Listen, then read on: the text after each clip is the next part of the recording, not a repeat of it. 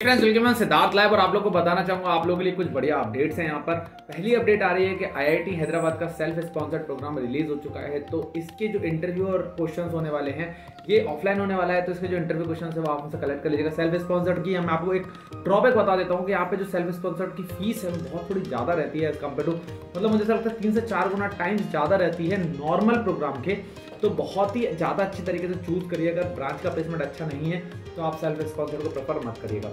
Second program है IIT Guwahati के, जो इंटरव्यू और रिटर्न है वो रिलीज़ हो चुके हैं ऑफलाइन होने वाले हैं।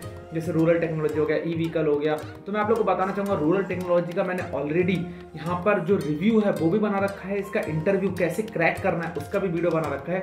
वो सारे जो लिंक्स हैं, वो मैं ऑलरेडी टेलीग्राम में दे दूँगा, या फिर आप Siddharth live rural technology I I Guwahati search करके देख सकते हैं। इसके साथ साथ मैं आप लोग बता दूँ, इसके भी रिटर्न इंटरव्यू क्वेश्चन आप मुझसे ले लीजिए आईआईटी भुवनेश्वर ने भी अपनी शॉर्टलिस्ट को रिलीज़ किया है रिटर्न एंड इंटरव्यू के लिए।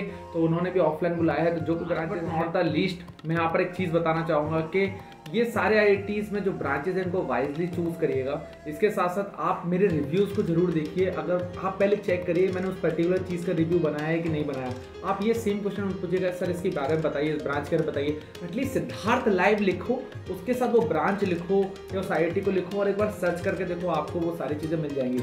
और इसके साथ साथ जो भी IIT के आपको इंटरव्यू क्वेश्चन चाहिए, वो आप मुझसे ले सकते हैं। इंस्टाग्राम पे, इन सारों के कॉल लेटर मैं आपको डाल दूँगा अपने टेलीग्राम पे तो उसको भी ज्वाइन कर लेना।